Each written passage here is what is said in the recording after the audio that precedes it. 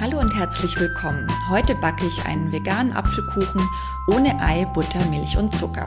Perfekt für kleine Kinder und Allergiker. Als erstes müssen natürlich die Äpfel vorbereitet werden. Uns schmeckt der Kuchen besonders gut, wenn die Apfelstückchen erst einmal vorgebacken werden. Das Ganze hat dann etwas von einem Bratapfelkuchen.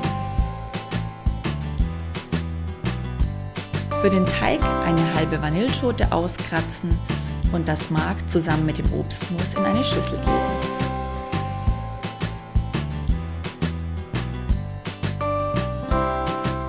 Als nächstes etwas pflanzliche Milch dazugeben sowie ein Teelöffel Apfelessig.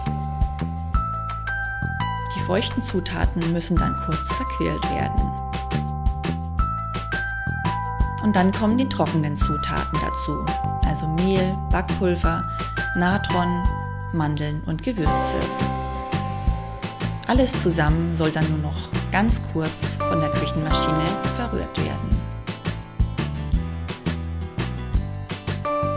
Zum Schluss kommen die vorgebackenen Apfelstückchen dazu.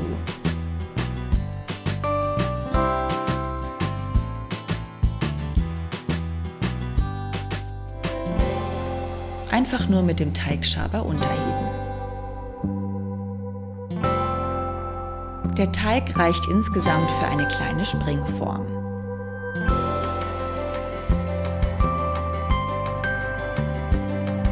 Der Kuchen braucht etwa 45 Minuten. Und fertig ist der gesunde Genuss. Das Rezept gibt's wie immer auf unserem Blog backenmachtglücklich.de.